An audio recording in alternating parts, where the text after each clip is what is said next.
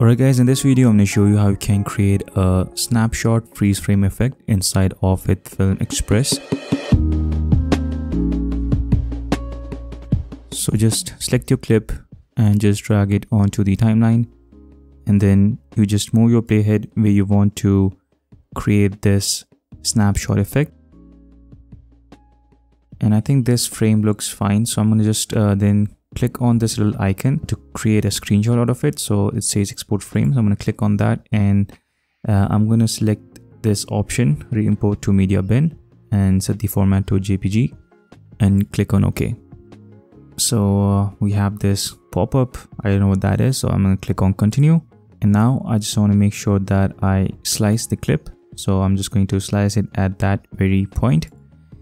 And now I'm going to just select this screenshot or the snapshot and I'm going to hold the shift key on the keyboard and just drag it onto the timeline. If you don't hold the shift key then it, it's going to overwrite the second clip which we don't want so just hold the shift key and just drag it to the timeline and that way it will just push the second clip right next to the snapshot. So as you can see we have a video playing and then it will just uh, have the snapshot and then it will continue playing your second clip over here. Now let's just uh, copy and paste this um, snapshot. I'm going to hit Control C on the keyboard and Control V to paste it. And that says we have this paste conflict. So we'll just select this last option, create new tracks. And now we'll just place it properly like that.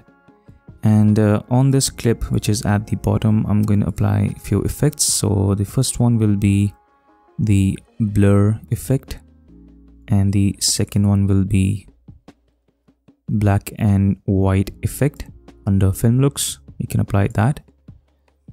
Uh, all right so as you can see you are not able to see anything and that is because this clip is at the top.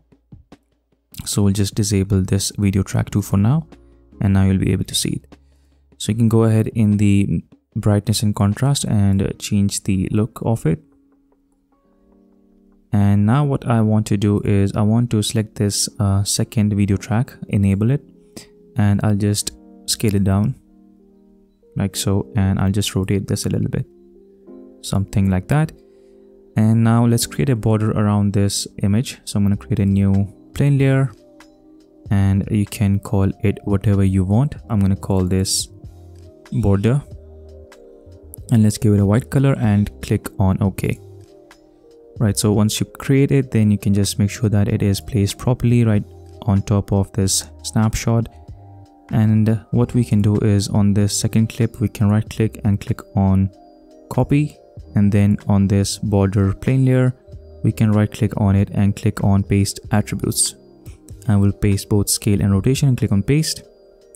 And now we just need to make sure that this border layer is under our screenshot. So let's just do that. I'm just going to move this border layer in between these two screenshots.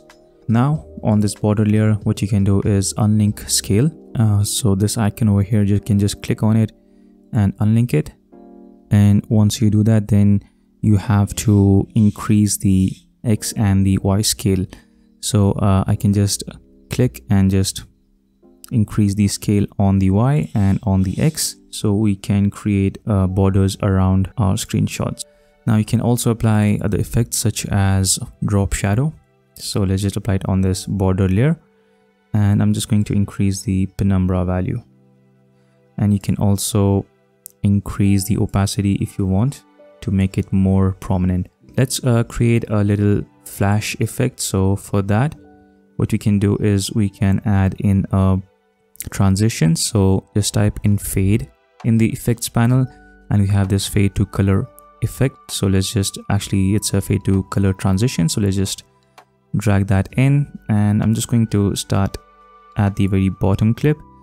And i'm just going to make sure that the duration of this transition is it's it's going to be pretty fast. So let's say let's set this to uh, 10 frames. So i can just uh, select this transition and make sure that the color is set to white. Click on ok and now if you check it out you have this simple flash effect. All right and you can apply the same transition on your snapshot at the top. So make sure that it is 10 frames long and change the color to white. So we have this simple effect. All right and uh, you can do the same thing over at the end as well. Just make sure that it is 10 frames long and set the color to white. And do this on the bottom clip as well change the color to white. And then you can also add a little bit of zoom in animation to this. So uh, what we can do is we can either keyframe the scale property on all of these three layers or what we can do is we can create a new grade layer. You can apply single effect and that effect will apply on all these three clips. So what i'm going to do is i'm going to search for spherical warp effect and apply it on this grade clip and i'm going to set the amount to zero. We don't want any kind of warp. And the only thing we want to keyframe is the scale. So at the very first frame create a keyframe on scale and move to the end. And change the scale and set this to around 110 so we'll have this simple scale in animation or zoom in animation. You can create all sorts of uh, stuff. You can add some text to this as well.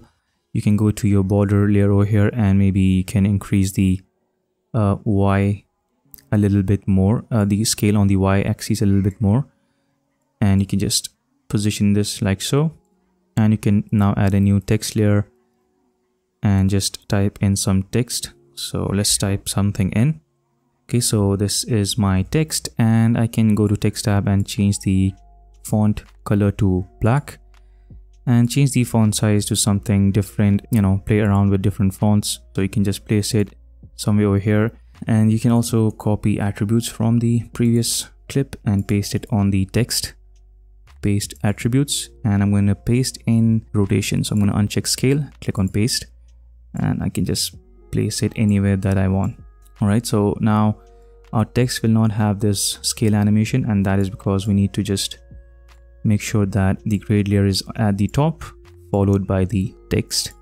So now your text will have the same zoom in animation so that is essentially how you can create this uh, snapshot freeze frame effect inside of HitFilm. I hope this video is helpful. Hope it will help you in your upcoming projects. Uh, thank you so much for watching and I will see you guys in the next one.